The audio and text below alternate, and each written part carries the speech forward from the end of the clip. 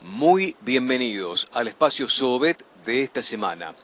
Lamentablemente sigue existiendo una palabra que define todo por estas horas, por lo menos que lo eclipsa, que obviamente insume un trabajo extra tranquera dentro y condiciona comercialmente tranquera fuera del productor. Esa palabra es sequía. Ojalá Dios quiera que en las próximas horas, de acuerdo a lo que marcan los pronósticos del Servicio Meteorológico Nacional, se concrete en realidad el pronóstico justamente de lluvias para el fin de semana en vastas regiones productivas. ¿En qué medida afecta? Tranquera adentro, hemos visto una enorme salida del ternero de destete anticipado por parte de ese criador que por supuesto alimentó una demanda sin pasto y que condenó la salida de ese ternero sin ningún tipo de dudas a una baja de precios importante con respecto a lo que venía ocurriendo en el negocio de la invernada hace un mes y medio atrás. Y esto por supuesto que está directamente emparentado con la necesidad de ese criador de sostener el estado de la vaca para que pueda ciclar en esta etapa preservicio, ya en algunos campos en servicio, para que esa vaca se pueda quedar preñada y aportar un ternero recién para la zafra del 2024. Así se trabaja en materia ganadera. ¿Qué es lo que afecta? En determinado momento habíamos hablado como un enorme proceso virtuoso la etapa de recría y de invernada a pasto que le había permitido a la ganadería mostrar datos relevantes desde el punto de vista del peso medio de faena, siempre en crecimiento en los últimos meses, de tres años a esta parte. Bueno, ha desaparecido esa recría y esa invernada a campo justamente porque nos quedamos sin pasto. Datos del feedlot, revelado por la Cámara Argentina de Feedlot justamente en las últimas horas, que vamos a profundizar durante la semana próxima. Ha caído considerablemente la ocupación en los corrales de engorde profesionales, del 65 al 60%, emparentando los niveles de encierre a noviembre del año pasado. Claro, el nivel de reposición que supo estar en 0,95 el mes pasado, es decir, se canjeaba uno por uno, salía un animal terminado, con destino a frigorífico, ingresaba un animal flaco, obviamente de invernada, para reposición. Hoy ese índice está en 0.68. Quiere decir que está saliendo mucho más de lo que ingresa al corral. Veremos si en algún momento, en el corto o en el mediano plazo, quién lo sabe a esto, ¿no? Empieza a desaparecer esta fluidez de oferta importante de Hacienda Gorda y empiece, por supuesto, la demanda a trabajar con otro criterio en base a esto, el promedio del novillo del MAG de esta semana de noviembre quedó en 265 pesos en el subsuelo comercial.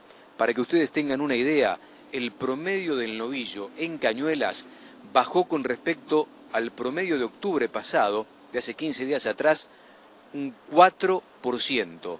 Impactante la baja. La suba de ese novillo en lo que va del año es del 22% y la suba de ese novillo en los últimos 12 meses es del 32%.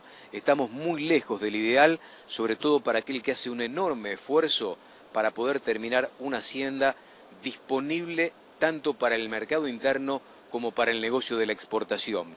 La pérdida real supera el 40%. ¿Qué es lo que está perdiendo un engordador hoy si le agregamos el componente financiero en el corral? alrededor de 30 mil pesos por cabeza. Esta es la magnitud de la pérdida de capital. Cuota Hilton, 9.000, 9.500 dólares la tonelada, no tracciona, muy tranquila esa demanda. Muy tranquila China, en función del precio que paga, no del volumen que compra. Entre abril y octubre China compró casi por un millón de toneladas de carne vacuna, con Brasil como su principal aportante, como su principal proveedor. Argentina no le va en saga, lo que sí, entre abril y octubre derrumbó el precio. Garrón y Brazuelo un 35% menos, 38% menos. Vaca con manta 35% menos de precio de lo que pagaba hace dos o tres meses atrás. ¿Qué es lo que tenemos que saber? Es que la dinámica del negocio hace que China hoy esté pagando entre 4.300 y 4.500 dólares la tonelada la invernada, ternero de reposición a la baja, en 380 pesos para el de 180 a 200 kilos, macho y hembra 160 y ternera 340, 345 pesos. En época de nacimientos, Sobet posee la combinación más eficaz para el tratamiento de la diarrea, con sus antibióticos antiespasmódicos y rehidratantes, Electrolac, en sus dos presentaciones, individual de 50 mililitros y multidosis de un litro, rehidratante líquido con energizante palatable y de fácil disolución, Enteroplus jarabe, el antidiarreico más concentrado del mercado, un mililitro cada 5 kilos, y Enterorelax Duo, una moderna formulación con acción analgésica, antipirética, antiendotóxica y espasmolítica, la combinación ideal en la que se puede confiar. Sobet, laboratorio argentino de calidad internacional a precios locales. Y si usás habitualmente Vaquero Purón, no te olvides, pedile los cupones a tu proveedor veterinario amigo, porque el 30 de noviembre, a fin de mes, estamos realizando a través de los canales de YouTube eh, de Sobet el sorteo de la Toyota Hilux 0 kilómetro.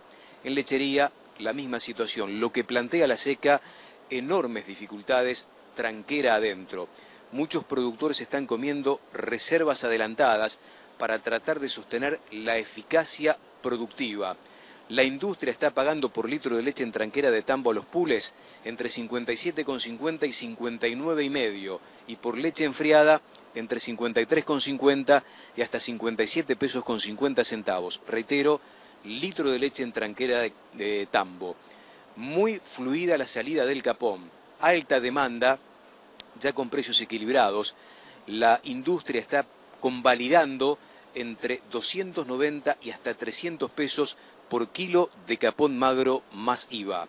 Sobet te mantiene informado todas las semanas. Sobet, nuestra receta, la mejor receta.